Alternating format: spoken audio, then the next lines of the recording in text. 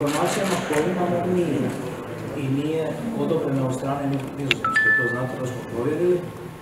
I vlada nije imala nikakve informacije da se takva transakcija dogodila. Znači ono što smo komunicirali, što smo znali da su zainteresirani mirovinski fondovi.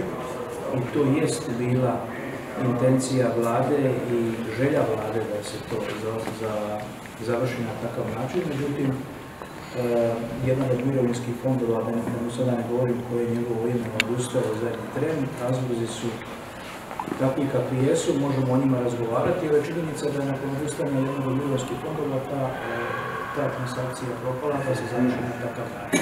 Sve ovo kasnije što se događalo, nismo, nemamo informacije, nismo imali informacije, a sada smo u fazi da ispitujemo cijelu situaciju zajedno sa nadležnim službama. Ovome što sada znamo, ta transakcija nije zakonita i nije odobrena od strane mirovinskih vlasti, tako da vidjet ćemo što će se dogoditi kroz par dana, ali ne podržavamo. Dobro, što sad hrvatska vlada može napraviti? Hoće li se ići u istrage jer postoji indicije nekakve da iza svega stoje e, hrvatski državljani koji su e, u biti pod ruskim utjecajem i pokušavali odraditi posao za Rusiju? Takve informacije smo, sam i ja osobno i mi u vladi vidjeli iz medija. Nadležne institucije se već time bave.